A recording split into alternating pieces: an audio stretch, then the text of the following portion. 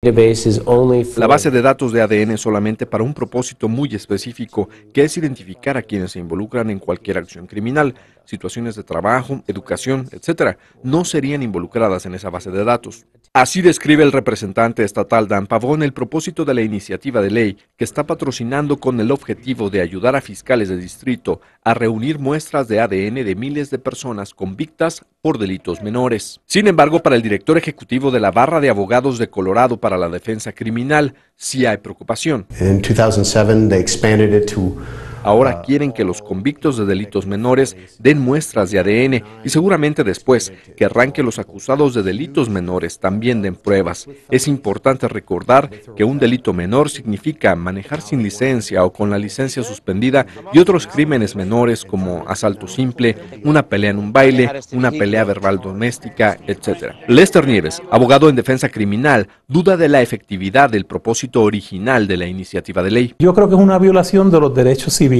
y cuando el legislador dice, ah, podemos este, usar esto para exonerar a personas en, en crímenes, la realidad es que el porcentaje de casos este, en donde hay DNA es minúsculo. Para el abogado Nieves, de convertirse en ley, la iniciativa podría generar perfil racial. La mayoría de las personas que son paradas, ¿verdad?, por la policía son la- las minorías, son hispanos, son gente de color.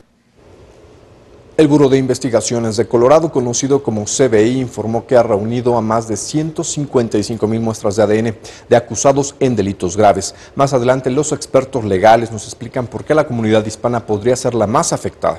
Vamos ahora con Juan Carlos. Sí, gracias Rafael, te estaremos esperando para la segunda parte de este reportaje.